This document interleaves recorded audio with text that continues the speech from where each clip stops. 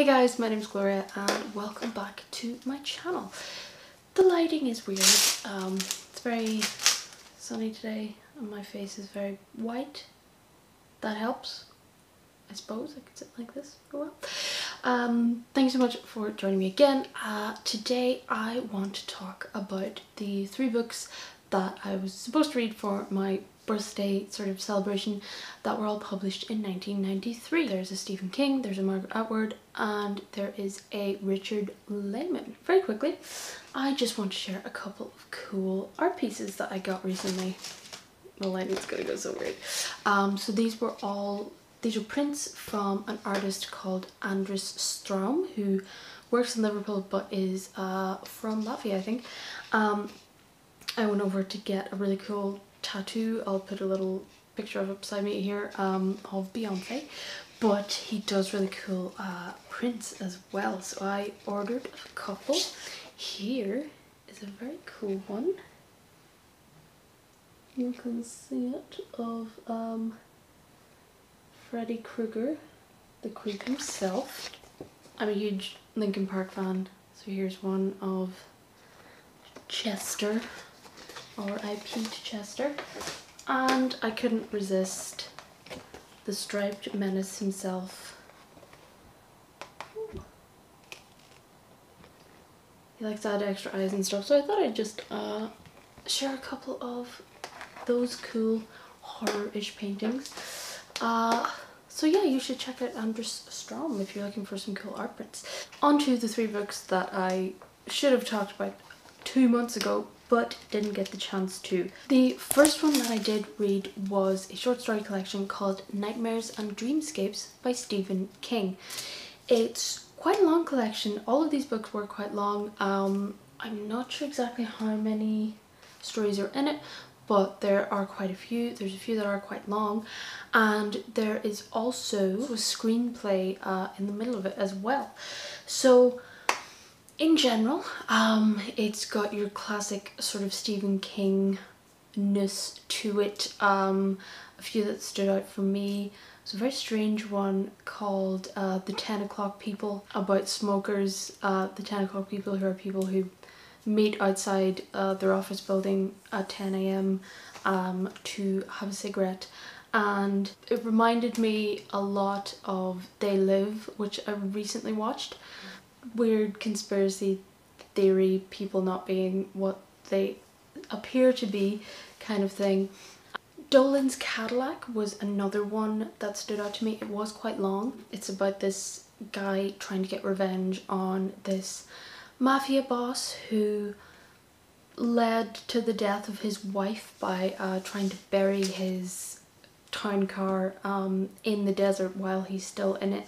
That one was really sort of involved. It was quite long and you really did get drawn into that one. Quite interesting, The Night Flyer.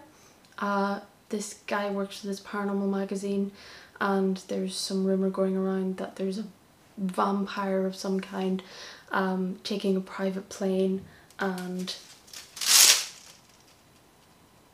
I'm so white I keep messing up the light. And um, stopping off airports, private airports and killing people. Uh, one that I really liked and other people uh, have mentioned this to me as well, Suffer the Little Children. It's just absolutely perfect for me. It absolutely made my blood run cold for a couple of moments in that story. It's quite short. It's about this very strict sort of matronly teacher who doesn't take any nonsense from her young children. I'd say they're like 8 to 10 years old. Um, but she starts to notice that they're acting very strangely and when she turns her back in the reflection of her glasses she can see their faces change and it's just really creepy really gets under your skin I will absolutely be reading that one again for sure. But there were a few that didn't 100% sit right with me. Um, I made um, a TikTok about this. Um, if anyone's on TikTok, I post a lot of various random things, uh, sometimes about books though. Um, so I posted this about me reading um, some of this and some of the weird things I read in it. And one Stephen King fan got uh, quite annoyed at me because he is a legend. Um, Yes, he, he is, but he can also write badly sometimes. Um, one of the sort of nitpicky things that other people might not pick up on but that just sort of jarred with me was one particular story. Um, they have a hell of a band, I think it's called, uh, where this couple finds themselves selves lost and they drive into this town and they seem to recognize everyone in the town. And at one point the the woman in the couple has a dream where there's a jukebox filled with blood very Stephen Kingy. Um, but she's talking to this teenager in the dream and for absolutely no reason he flicks one of her nipples unkindly. Um, just a weird weird thing that I noticed there um, one of the stories in the collection will haunt me till the day that I die but not for the right reasons it's a strange story. Uh, I believe it's called Dedication and it is about a black woman who works as a housekeeper in a hotel and she is telling her friend that her son has just published his first book and it's doing really well and he dedicated the book to her. And I'm going to spoil the story here so if you haven't read it yet you can skip until I put up the next book. But the story is of this pregnant black, back when she just got pregnant, this pregnant black woman goes to this bruja, this witch for advice and she is given some advice and takes it. And the advice is that she should go and eat the semen of this old white man who comes and stays at the hotel who is uh, a famous published writer himself and this will make him the natural father, uh, sort of the magical father of her child. So she goes in to change his sheets every morning and scoops it off with her fingers and eats it and um, that's how her son becomes a published writer later in life. So there's a lot to unpack with that story. There's a lot of connotations, particularly with the race aspect with the just absolute bizarreness with it. Stephen King does get a lot of flack for how he writes women sometimes and um, that one is particularly odd. I would like to know his thought processes behind that and what he wanted to say about those characters. Um, that was weird the collection had its, had its good points. I'd say th three, three and a half stars from me, but particularly that one with the, the children, really creepy, really like that one. The next one that I read was The Robber Bride by Margaret Atwood and it is sort of a twist on a Brothers Grimm fairy tale called The Robber Bridegroom who entices young women in to marry him so that he can kill them. Uh, this I haven't actually read that one, although it is, I did look it up and it is quite short and it's online for free, so I'll link it in the description down below. But the actual story follows these three women who meet every month um, to have lunch in a place called the Toxique and it's set in Canada. And the reason that they're all friends is because they were all betrayed by the same woman. They all sort of vaguely knew each other in college but weren't really friends with each other uh, but they're all linked by this betrayal that happened to them, this woman who individually went to each of them and fucked up their lives in some way. And so this story begins with them all meeting up for lunch, everything seems normal they're reminiscing about how they went to this woman's funeral. She did die, they were told about it, and um, I think one of them even has her ashes in her basement. And so they all think they're free of her weirdness until she walks into the restaurant and she's not dead anymore, seemingly.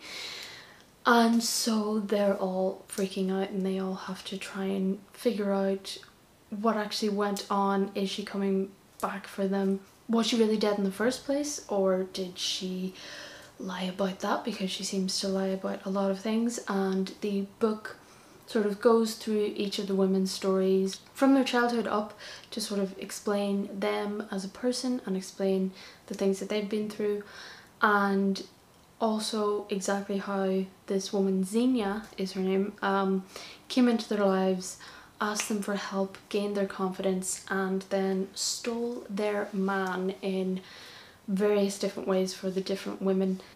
This woman is quite brittle. She is quite cruel um, each of the women are really interesting they are very different one of them is very rich but she came from poor beginnings one of them is a professor um, of war. She studies wars. She is obsessed with old wars. She has a little table uh, down in her basement that she puts props down um, to reenact wars and she's obsessed with the past and even has a, a weird habit of speaking backwards and doing everything backwards and the other woman is very different from these two quite intelligent, strong, stoic women. She is very spiritual. She doesn't like to hear bad energy. She doesn't like to hear negative words, negative things.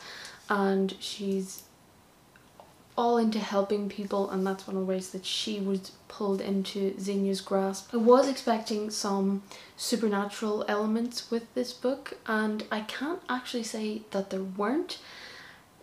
Just the the story of Zenia um, as seen through these three women's eyes is quite otherworldly. There's there's something weird about her and I was expecting um, some sort of big reveal at the end but there wasn't but it still felt like there was something underlying there that just wasn't being explicitly said um, which is fine I kind of liked the the ambiguous ambiguity in this um, story Zenia is sort of kept at arm's length and it just it lends some mystery to her while you get to see so much of the three other women and the men that they are in love with and it is sort of a question of did did Zenia really ruin their relationships or did she just show them how crappy the men in their lives were because they were so easy to manipulate, so easy to take away.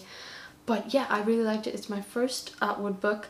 I will absolutely be reading um, more of her stuff. I have an e-version of the Handmaid's Tale that I'm going to get to and she also has a masterclass um, on the masterclass series so I will be watching that as well. The third book that I read was Endless Night by Richard Laymon.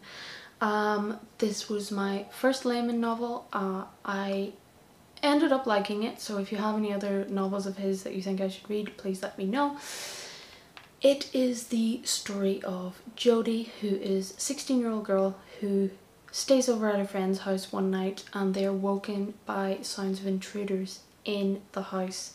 Her friend wants to go out and see if someone's there and as she opens the bedroom door she is murdered right in front of Jodie. There's a gang of absolute weirdos who have broken into the house to kill the family just for fun but Jodie being the fantastic character that she is and also a police officer's daughter is able to get to her friend's little brother's room and to get him and herself out of the house and away from these people.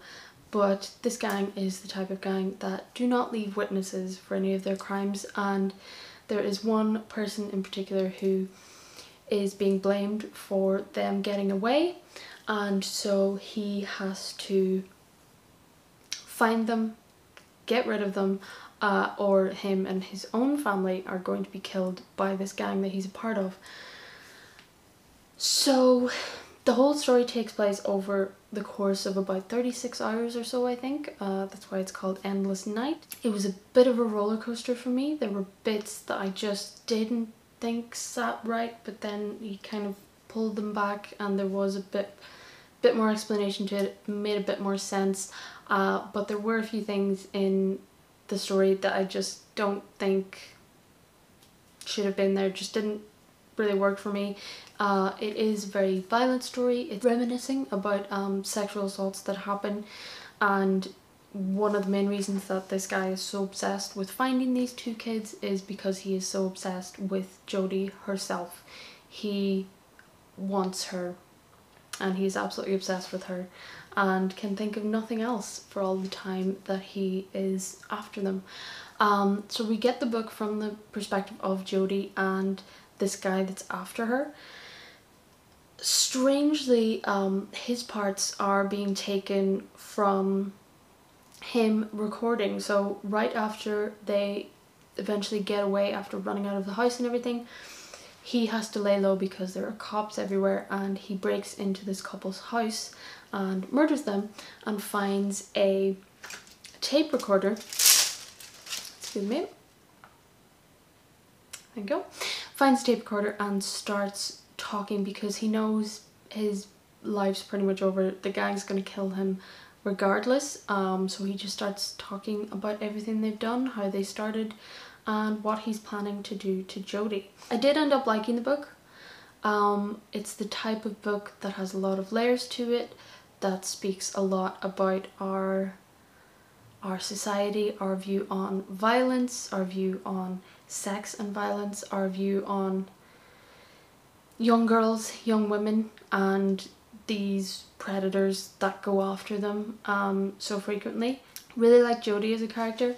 I was confused from the outset by the younger brother of her friend that she saves.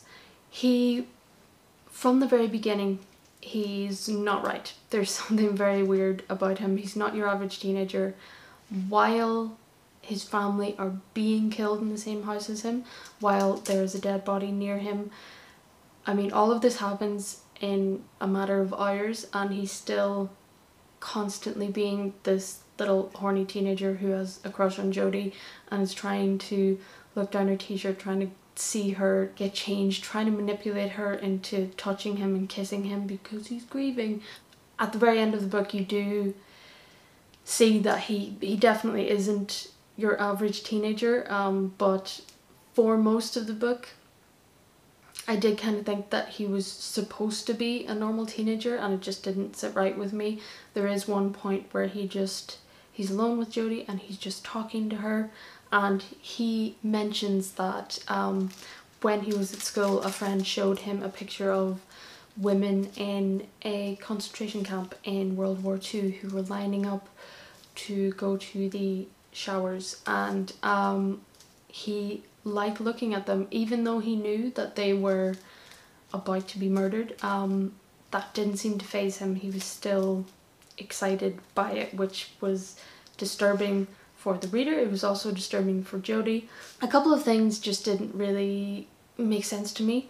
Uh, one of them in particular, the the whole start of the book, the whole um, first attack in the house and everything is seen from Jodie's perspective and she is staying over at her friend's house and she is a 16 year old girl and they're woken up in the middle of the night. She's wearing like a nightdress. She has to run, no shoes or anything. They have to get out of there because someone's trying to kill them. Cool. It we go through all these different things. They try to get to a neighbor's house. They have to run away from these people. They're almost caught a few times. Um, it isn't until we get the perspective of the guy that was running after them that we're told that she wasn't wearing any underwear which seems like a small thing, but it's really not. And it really was a little bizarre to me. If you're a 16 year old girl, you are constantly aware of your body, of your private parts. You're constantly being told to be aware of it. Um, you definitely would not, unless there was some mitigating cir circumstances, you definitely would not be sleeping in just a t-shirt in someone else's house where they have a dad and a brother who you know fancies you just not not going to happen um when she goes to try and get the brother out he's like hugging her around the waist and stuff she never mentions that she's not wearing underwear um she's leaping over walls climbing over things it just it's something that a teenage girl would be so incredibly aware of even in circumstances like that, particularly in circumstances like that. So that bit just didn't, didn't really make sense to me. Um, another part that I, this part actually I thought was quite funny. You could take this as being part of um, an unreli unreliable narrator because we are getting the killer's perspective from these tapes that he's recording himself. So he could just be lying his ass off. Um, but when he goes to this house and finds the tape recorder, he murders the woman and then he decides that it would be a good idea for him to wear a disguise to get past the cops so he can try and find these kids he's looking for. Um, so he decides to put on her clothes. Fine. He decides to scalp her and wear her scalp as a wig. And he decides to put on a few touches of makeup. And he is then convinced that he is an incredibly attractive woman. And by all accounts, it seems like he is, even though he shouldn't be. Um, the husband of this woman comes home and thinks that he's one of his wife's friends just sitting in the house.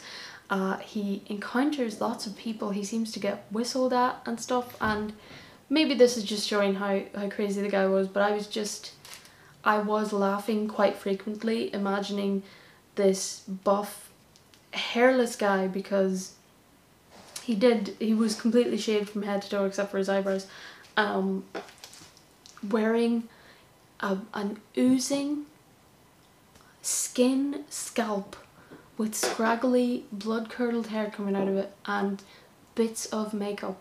Um, makeup is hard for anyone who doesn't know even the most simple makeup. Even knowing what is what in a makeup bag um, is difficult. So any man who has never had any dealings with makeup before you're gonna look like an absolute insane person um, if you try and put anything on your face. You might think it's easy and it's, it's, it's not. So I was just imagining this weird guy walking around in a skirt with a scalp on his head and just looking like Pennywise or something but seemingly getting whistled at because he was so attractive. Very strange. But I did end up liking, I did end up liking um, all three books to some extent. I would give this one four stars. I would give The Robber Bride probably four stars as well. They're the kind of books that I wish I'd read in when I was in college studying English. Um, I feel like there's a lot of layers, particularly in the last two novels, where I could have really written some interesting essays on them if I'd had the chance, but uh, unfortunately I did not. I could write them now, but I'm not going to because I am lazy. But they are very interesting. They do really make you think about a whole host of different things. So yeah, I definitely am glad that I read those. If you have any recommendations of books that came out in 1993 or any year since then, you can let me know. Um, I might do a little series when I have time in the future. I might do a little series of reading like a book from every every year in the last couple of decades just to see. I know um, Priscilla, uh, a frequent commenter in my videos, thank you very much, um, she was interested to know if anything in these books was very similar because they all came out in the same year. And I don't think there was really other than the fact that there there was no technology mentioned. Um just absolutely no smartphones no not not even cell phones at all um no internet spoken of. It was like it just didn't it didn't exist because it didn't exist but it's just uh yeah that was the only sort of thing that I noticed. But other than that they were all sort of different all focused on different things and had different things going on in the background. So yeah it is kind of interesting that they're they're not more similar to be honest. But um but yeah so that was the three books that I read from the year of 1993, the year I was born. So thank you so much for joining me. I shall be back very soon with a couple of tag videos as well. So thank you so much. Uh, if you like what I'm doing here, you can like and subscribe down below and I shall see you in the next video.